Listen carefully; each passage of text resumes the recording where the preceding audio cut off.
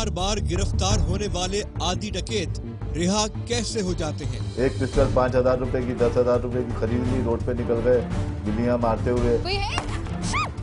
ये देखिए ये देखिए। पॉसिबिलिटी है कि वो और ज़्यादा फायरिंग करें तो। टमाटर दो सौ रूपए किलो मिलेगा तो मजबूरी है ना फिर मफरूर मुलजमान के खिलाफ पुलिस की कार्रवाई।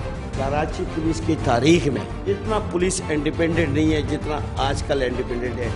देखिए अवाम की आवाज़ में। जुमे की शाम सात बजकर पाँच मिनट पर।